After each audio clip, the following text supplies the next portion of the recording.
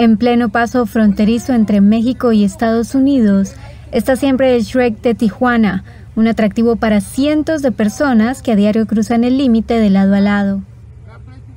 Hugo García personifica al famoso ogro verde desde hace 10 años para llevar un sustento a su hogar y de paso ayudar a la comunidad. La vida te trae de todo y hay que agarrarla como viene, con una esperanza, un, buen sentir de la vida ahorita estamos y el día de mañana no sabemos, pero hacer la buena obra y la lucha por un ser humano que es mi señora, que es la madre de mi hija, pues me, causa, aparte de tristeza, esa furia de, de salir adelante. La idea de personificar al logro surgió de la necesidad de recaudar fondos para los tratamientos médicos y quimioterapias de su esposa, quien padece de cáncer de la línea internacional desde Sonora.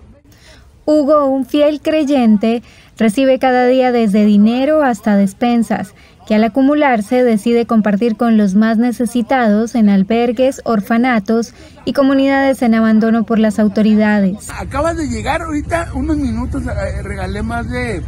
más de 50, 60 eh, pañales a niños de aquí que, que, también padecen de, pues se puede decir, de cositas. Y gracias a las personas que me apoyan, que vienen de Estados Unidos, que me llevan las cosas a, a mi casa para que yo las done. La historia de Hugo se repite en miles de tijuanenses cada día, una situación que se ha agudizado tras la llegada de la pandemia hace un año al país.